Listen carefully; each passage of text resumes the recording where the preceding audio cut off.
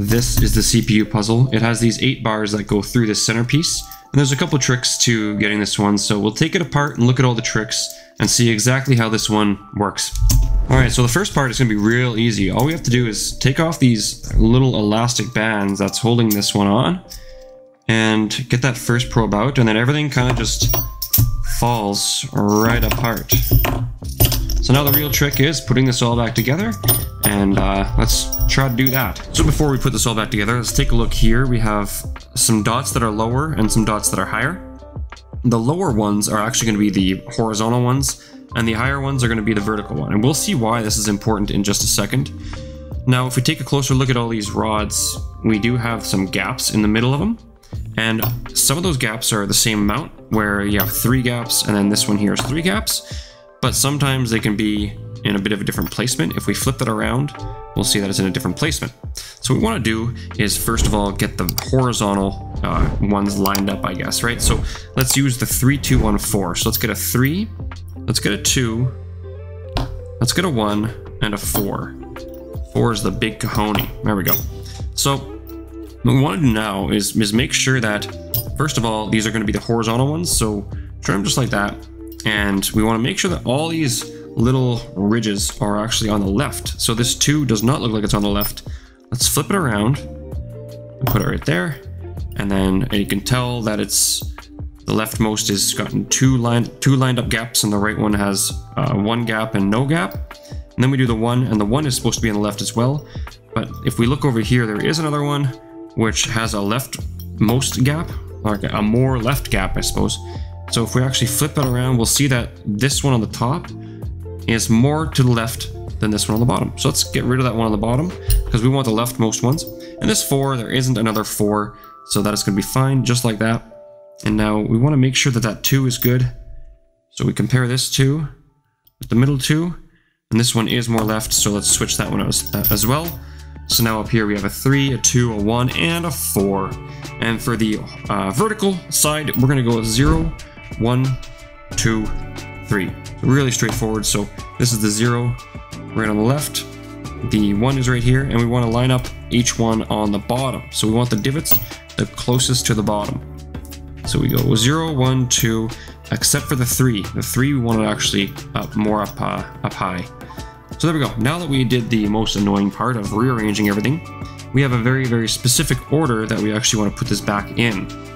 So to start off with, we're going to take the H4, we're going to call this, so horizontal 1, 2, 3, 4, and we're going to put this one in. And the reason why we put this one in first is because it has four gaps.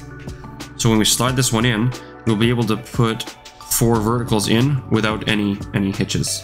So we're going to do mostly this with the square down, but just notice that that's what you're doing inside is you're making it all line up perfectly. Just like that. And now, when this lines up perfectly, you want to put the next one in, which is going to be the V4. And the V4 is going to be put in because you have three open gaps on the side here, and this one has three open gaps. So now we want to carefully slide this one in, but we also want to turn those gaps so that they're upside down because this one uh, on the vertical side is the higher piece. So let me show you what I mean here.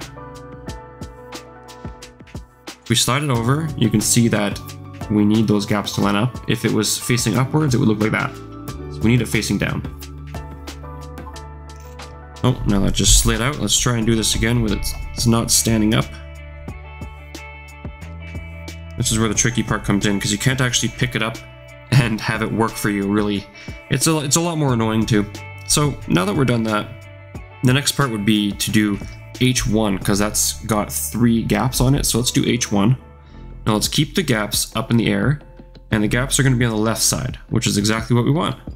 We'll slide this one in. You might have problems with it because this one, but you can just kind of spin it around until it works. And then the easy part here is keep those gaps up and match it completely up with the fourth one down here. And then you know exactly where it is and it's all going to match up. So now the next one's going to be the vertical 3, I guess. so when we stick this one in, it's got two open gaps. And on this one we have two left, so we're going to stick that in. And we're going to turn the dots, or the, the blanks there, down. Blanks. Oh, geez, the ridges. We're to turn them down. And we're going to match it up just like so. And after that, we're going to put in the H2 You guessed it.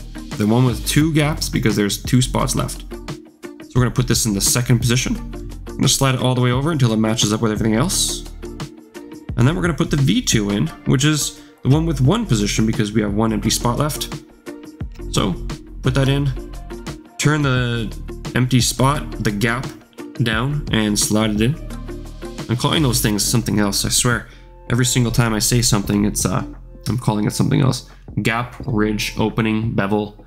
Don't really know what they're called, but I'll make something work. So next thing is this final horizontal piece. Stick it in there and make sure that the gap is facing upward and see if this goes in perfectly. And it does. We got lucky this time. And now we have the last one, which is this empty rod.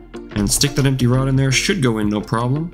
Now the biggest thing here is to put those elastics on before you pick it up, otherwise everything will fall right back down and you'll have to do it all again.